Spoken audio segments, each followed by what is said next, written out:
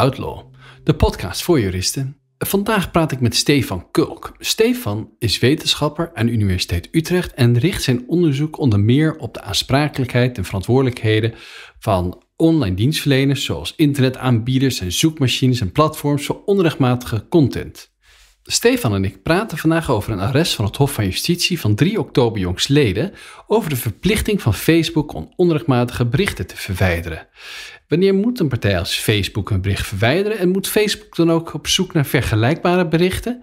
En wat is eigenlijk het gevolg van dit arrest voor de vrijheid van meningsuiting? Luister voor dit en meer naar Stefan en mij in deze aflevering van About Law.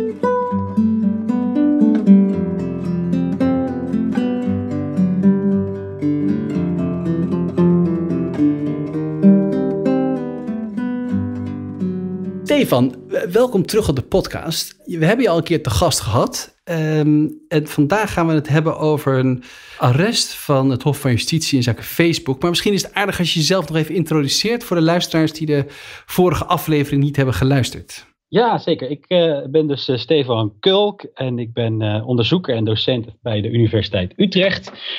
En ik uh, heb een, tijd nou, tijdje geleden een proefschrift geschreven over uh, aansprakelijkheid van online dienstverleners. En het ging met name om uh, het aansprakelijkheid voor auteursrecht inbreuken. En nou, vorige keer hebben we toen gesproken inderdaad over artikel 13, wat later artikel 17 werd van de nieuwe auteursrechtrichtlijn. En ja, ik hou me dus bezig met eigenlijk het modereren van, van content ja, hoe dat werkt, maar ook dus, ja, hoe, hoe dat zit met aansprakelijkheid.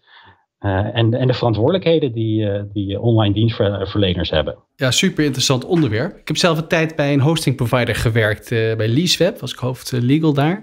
dat is al een paar jaar geleden. En toen is dit ook bij mij natuurlijk heel vaak voorbij gekomen. Dus ik vind het een super boeiend onderwerp. En ook toch interessant dat het zich zo blijft ontwikkelen. Hè? Als je het vergelijkt met een paar jaar geleden, is het toch elke keer weer nieuwe ontwikkelingen. Nee, nee het is natuurlijk het, het recht ontwikkelt zich.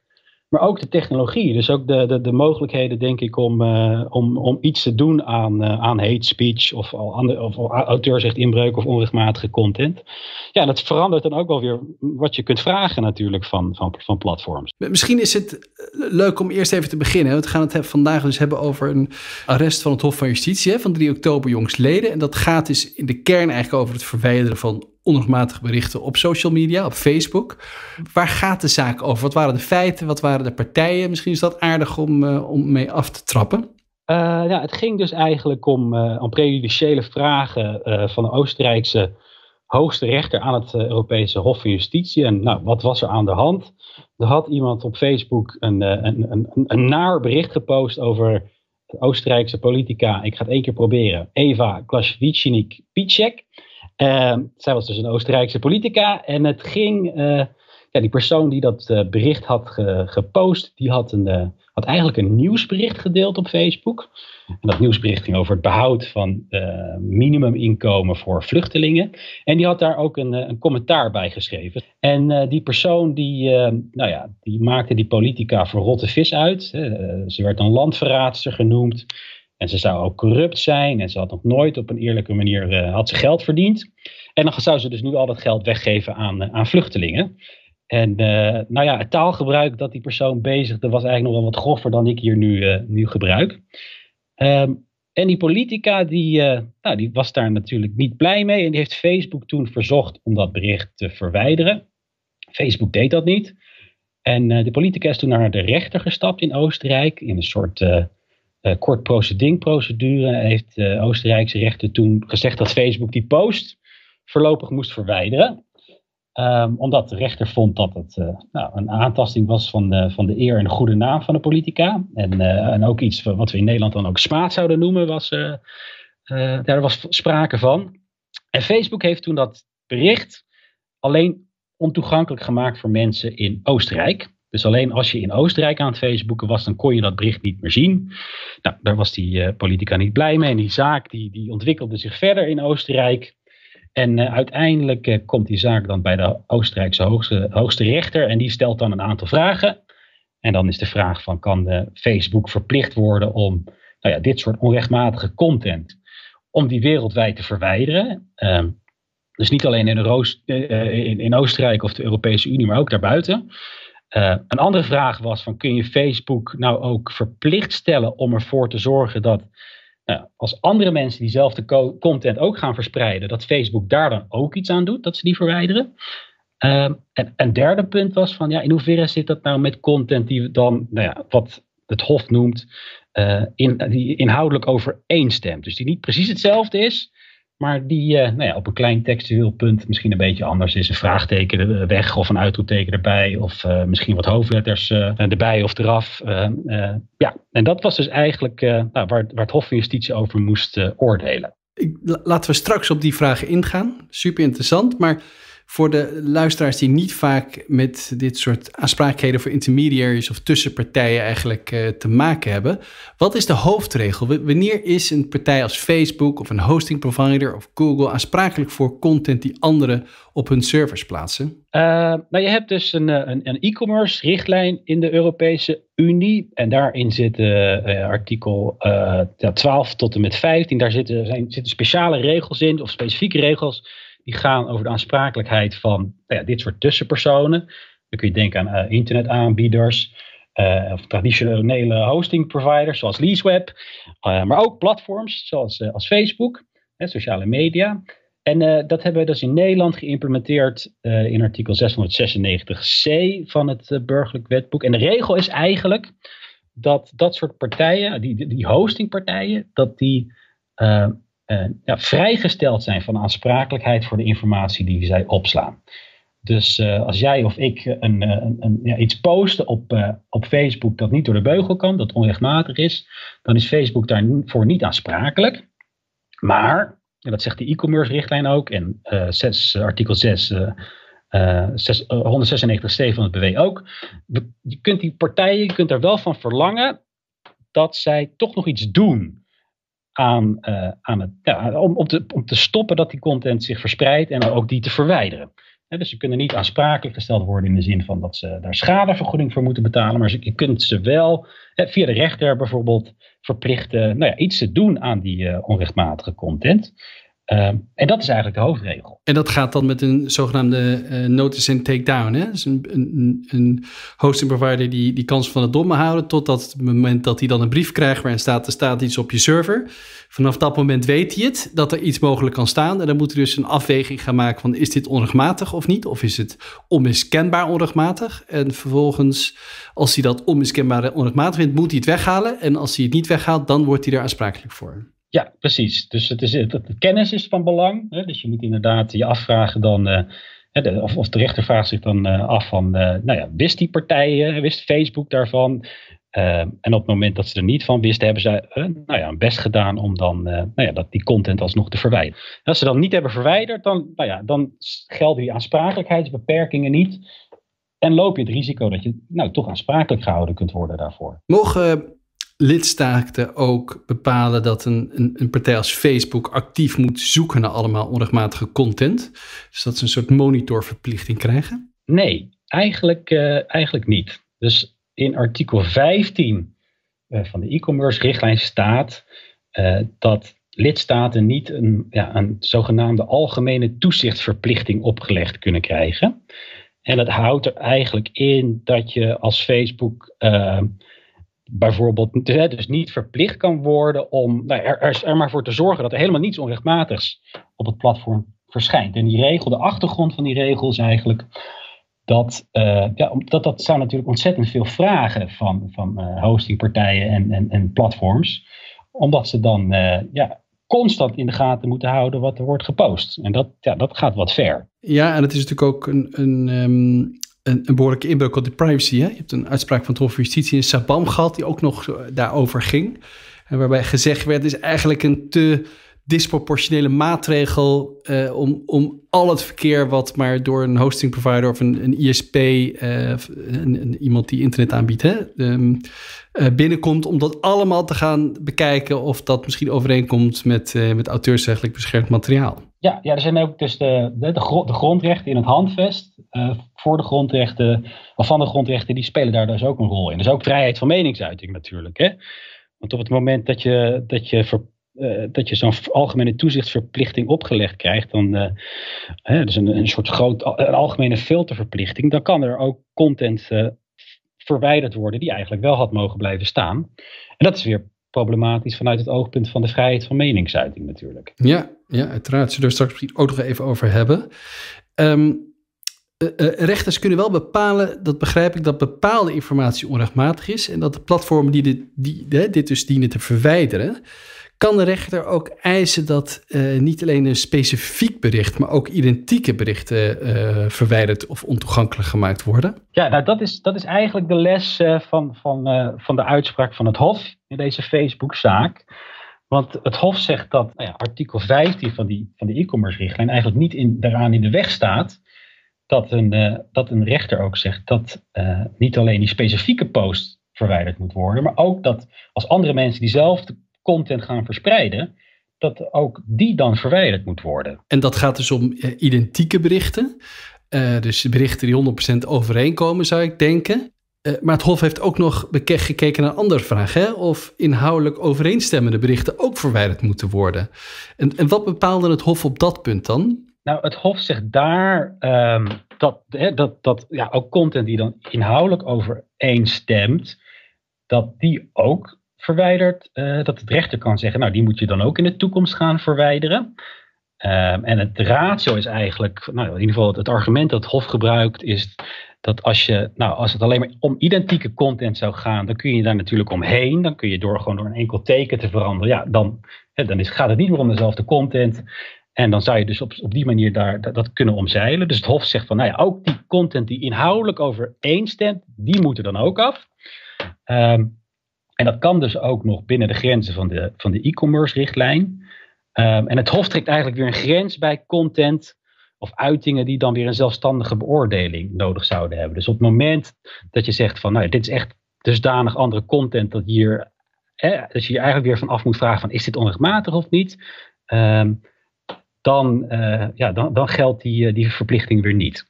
Maar de vraag is natuurlijk, wat, wanneer stemt content nog inhoudelijk overeen? En dat is denk ik een vraag die, uh, ja, die, die, die, die, open blijft voorlopig. Daar kan nog jaren over geprocedeerd worden en heel veel ook kan ik me voorstellen. Want, want wanneer is iets dan overeenstemmend? Hè? Is dat dan een komma of een nieuwe hash die van een bestand wordt gemaakt? Of is het, een, uh, uh, is het echt een, een, een, hele andere zin, maar met dezelfde boodschap? Uh, ik kan me daar voorstellen dat, daar, dat we daar nog heel veel rechtszaken over gaan krijgen de komende jaren. Ja, dat denk ik ook. Als je ook bijvoorbeeld heel concreet kijkt naar de uiting waar het dan eh, om ging in deze zaak. Ja, dat waren een, paar zinnen. Eh, ja, wat als je één zinnetje weghaalt? De rechter heeft gezegd uh, dat er sprake was van aantasting van de eer, goede naam, ook iets dat lijkt, nou, wat je in het Nederlands dan smaad zou noemen. Ja, haal je een zinnetje weg. Heb je dan, is er dan sprake van identieke content? Ik denk ook dat het heel erg afhangt dan van de, van de beoordeling van de rechter in zo'n geval. Uh, en ja, ik, ik ben het met je eens. Dit, uh, ik denk dat dit nog jaren voor onduidelijkheid gaat zorgen. Je kan natuurlijk uh, filters gaan bouwen, gaan kijken als Facebook van hoe ga ik allerlei slimme slimme regels hierop loslaten om dan vergelijkbare berichten te vinden. Maar, maar uiteindelijk eh, zal daar natuurlijk ook handwerk bij moeten komen. Er zullen mensen gewoon handmatig moeten gaan kijken als iets boven komt, als het een twijfelgeval is. Um, moet ik het weghalen of niet? Het, het Hof zegt ook wel specifiek als het gaat om de nou die content die inhoudelijk overeenstemt, dat dat eigenlijk uh, dat, dat, dat dan ook om gevallen moet gaan die ook technologisch zou moeten kunnen oplossen. Um, en daar trekt het Hof dus eigenlijk ook een soort grens ten aanzien van wanneer nou ja, content dan nog inhoudelijk overeenstemt in de zin van deze uitspraak. Um, en, en, dat zou er dus op kunnen wijzen ook van ja, dat als je het niet meer met technologie af kunt, dat het dus ook niet meer inhoudelijk overeenstemt. Ja, als je nou te, te, te snel gaat verwijderen, dan krijg je ook een ander probleem. Hè? Want bij Facebook zal dat misschien nog wel meevallen. Maar als ik een hosting provider ben en ik heb een overeenkomst om bepaalde content te hosten.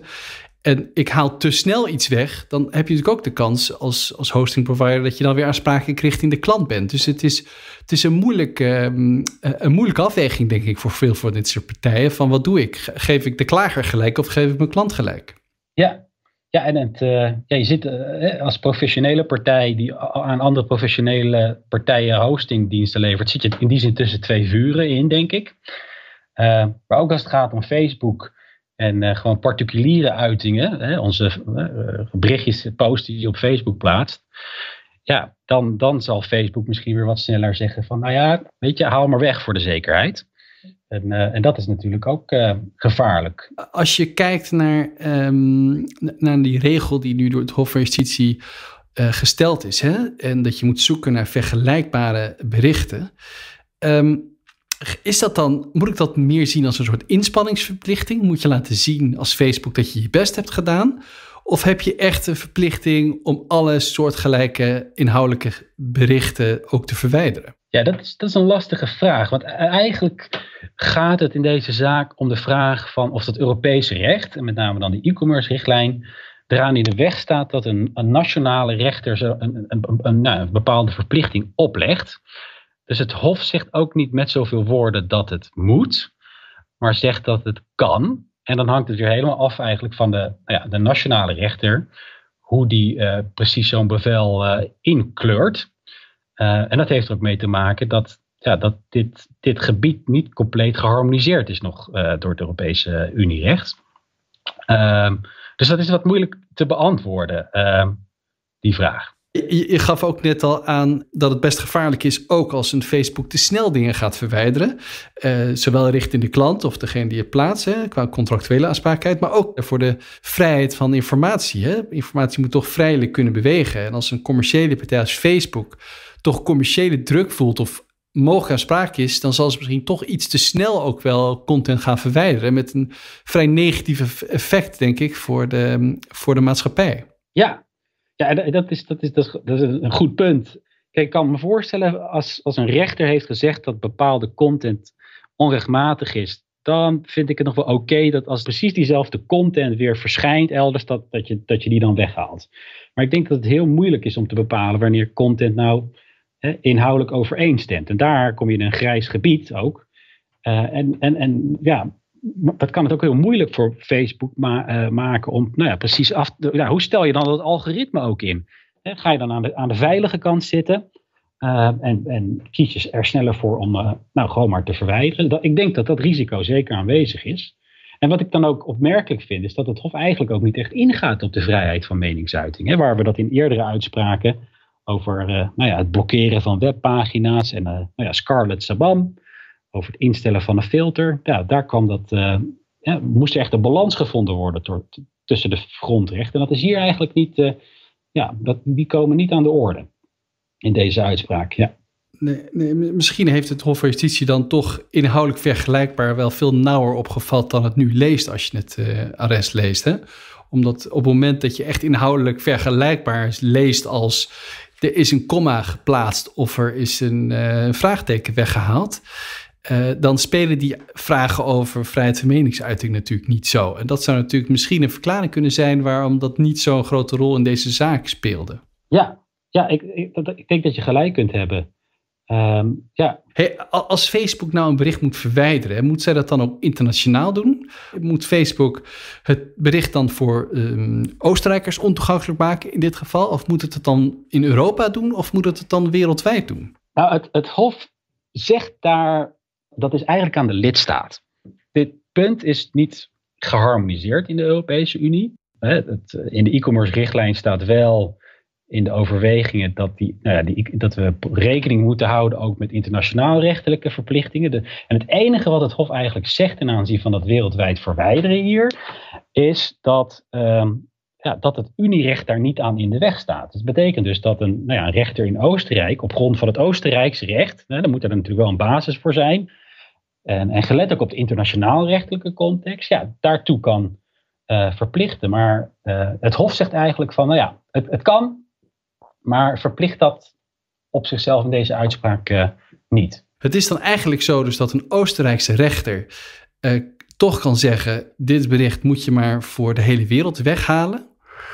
Terwijl als je kijkt naar een vergelijkbare uitspraak op het gebied van data protection, privacy van een paar weken geleden, het Hof van Justitie eigenlijk oordeelde dat een, een recht om vergeten te worden eigenlijk alleen Europees rechtelijk geldt. Hè? Dus als iemand zegt Google Uh, er zit een, jij indexeert een bericht van mij uh, en, en ik wil dat je dat niet meer doet.